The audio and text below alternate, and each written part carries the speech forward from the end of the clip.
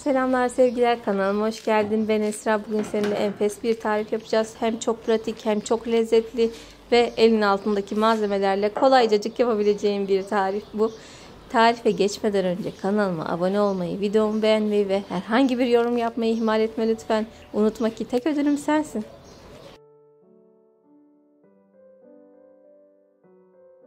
Öncelikle maydanoz doğruyorum.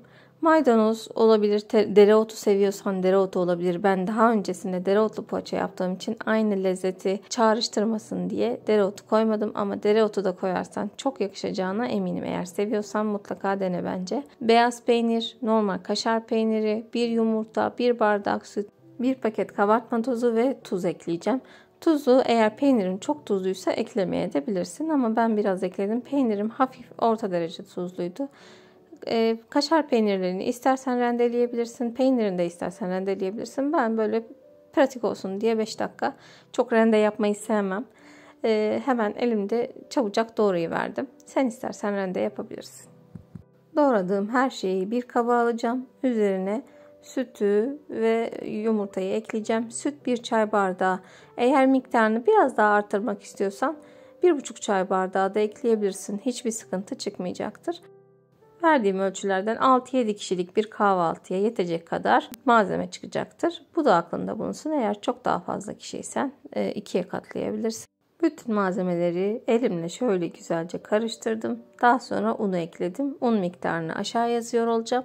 Sen oradan alıp tam ölçülü yapabilirsin. Ama tüm tariflerimde söylediğim gibi un miktarı her zaman değişkenlik gösterebilir yumurtasına göre veya çay bardağına göre. Eğer bunu yaşamak istemiyorsan mutlaka unu kontrollü ekle. Her zaman bir miktar bırak. Eğer hamurun cıvıksa ekle, değilse un eklemeyi kes.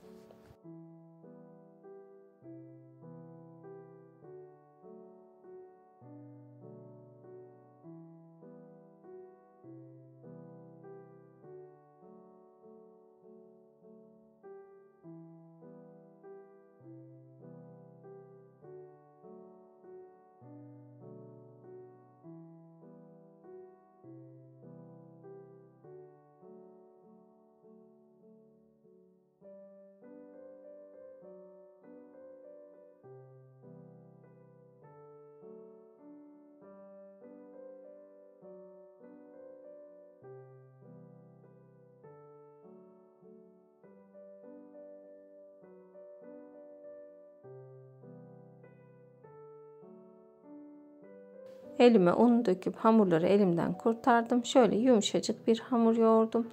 Hamurumu e, ocağıma e, yağımı koyup ısınana kadar bekleteceğim. Herhangi bir dinlendirme süresi yok. Buzdolaba koyman gerekmiyor. 5 dakikada tak tak tak tak hazırlayabileceğim bir tarif.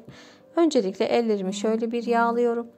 Bu kısım önemli hem elime yapışmaması için hem de mata yapışmaması için. Yuvarlama konusunda şöyle pratik bir yöntemim var benim. Sen de uygularsan mutlaka rahat edeceksindir. Öncelikle hamurumu ikiye bölüyorum uzunlamasına. Daha sonra onu biraz daha uzatıp onu da ikiye bölüyorum ve uzun uzun şeritler elde etmiş oluyorum. Hiç zorlanmadan pratik bir şekilde. Eğer beğendiysen bu yöntemimi aşağıya yazarsan mutlu olurum.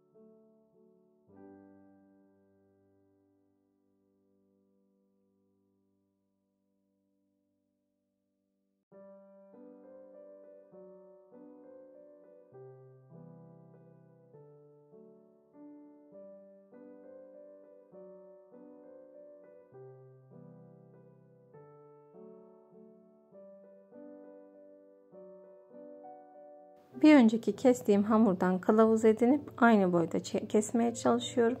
Yalnız şöyle bir şey var. Ben kestim ince görünüyorlar şu an zaten ama hamur kızarınca biraz e, kabarıyor. O yüzden hamuru yağ atmadan önce şöyle elimizle biraz daha yuvarlayıp biraz daha inceltelim ki daha ince çubuklar elde edelim.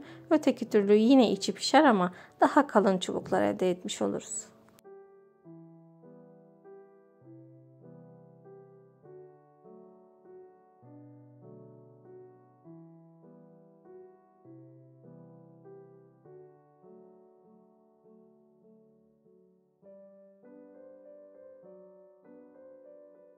Hamurumu aşırı kızdırılmış yağ atmıyorum. Orta derecede kızdırılmış yağ atıyorum ve incelte incelte koyuyorum. Hemen kızarıyor zaten.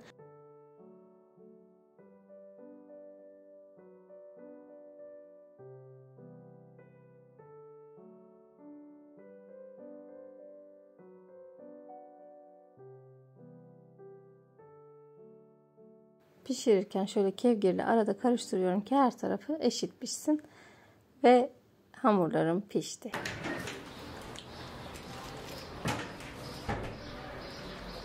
Hem çok lezzetli hem çok pratik bir kahvaltı tarifi verdim sana. Eğer beğendiysen aşağıya yorum kısmına yazmayı unutma lütfen. Ve hala abone olmadıysan abone olup beğenmeyi de ihmal etme. Beni izlediğin için çok teşekkür ederim. Kendine iyi bak, hoşça kal ve lütfen takipte kal.